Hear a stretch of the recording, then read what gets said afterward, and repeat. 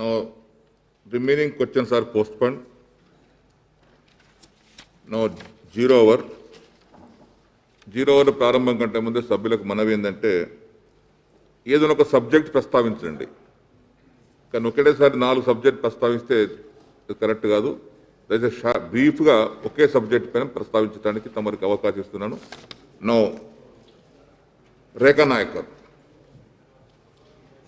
అధ్యక్ష ధన్యవాదాలు అధ్యక్ష.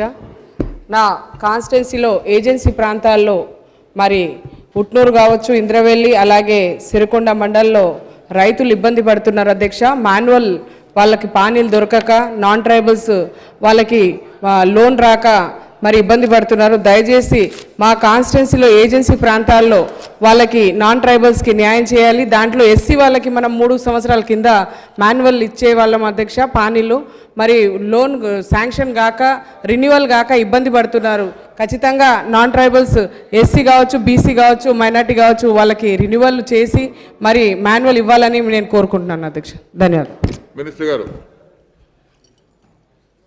ఇంకో- ఇంకో చిన్న మనవి. జీరో అవర్ సమయంలో నేను గౌరవ సభ్యులకు సవినయంగా మనవి చేస్తున్నాను. మంత్రులు రాసుకోవాలి కాబట్టి వాళ్ళని డిస్టర్బ్ చేయకండి. మరి జీరో అవర్ మీరు అడిగే ప్రశ్నలకు వాళ్ళు రాసుకోకపోతే సమాధానం రాదు కాబట్టి ఆ జీరో అవర్ సమయంలో మంత్రుల పక్కన కూర్చుండి మీరు డిస్టర్బ్ చేస్తున్నారు కాబట్టి దయచేసి సహకరించవలసిగా కోరుతా ఉన్నాను. మినిస్టర్ గారు. గౌరవ సభ్యురాలు రేఖానాయక్ గారు ప్రస్తావించినట్టు అంశాన్ని నోట్ చేసుకున్నాను అధ్యక్ష. కృష్ణమోహన్ రెడ్డి గారు.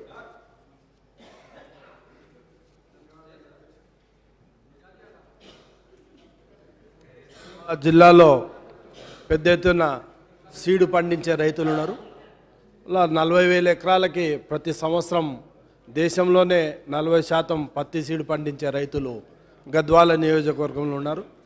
లాస్ట్ అంటే ముప్పై సంవత్సరాలకెళ్ళి గద్వాల ప్రాంతం సీడుకి ప్రఖ్యాతిగా దేశంలోనే అంటే మూడు కోట్ల ప్యాకెట్లు పంచి నలభై శాతం సప్లై గద్వాల ద్వారానే జరుగుతుంది.